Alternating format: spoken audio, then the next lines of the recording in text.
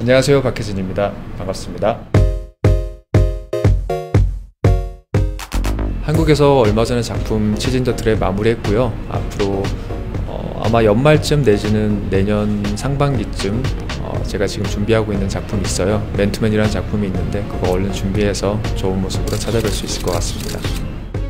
사실 배우라는 직업에 대한 꿈이나 갈망 같은 거 전혀 없었어요. 어, 어디 나서는 걸 좋아하는 성격도 아니었고 되게 조용한 성격이기 때문에 어, 우연한 기회에 어, 캐스팅 제의를 받고 사실 굉장히 많이 망설였었는데 그걸 계기로 해서 지금 꼬박 데뷔한 지 10년 차가 되는 배우가 됐습니다.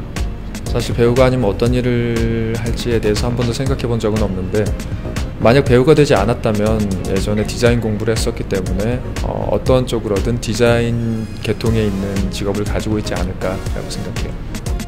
사실 제가 이번이 싱가포르이 첫 방문인데 어, 첫 방문부터 이렇게 환대를 해주셔서 너무너무 감사드리고요. 사실 싱가포르에 이렇게 많은 팬분들이 계시는지 몰랐어요. 어, 앞으로 좋은 작품으로 싱가포르 팬분들께도 보답할 수 있도록 열심히 작품에 임하는 배우가 되도록 하겠습니다. 안녕하세요 박혜진입니다. 반갑습니다.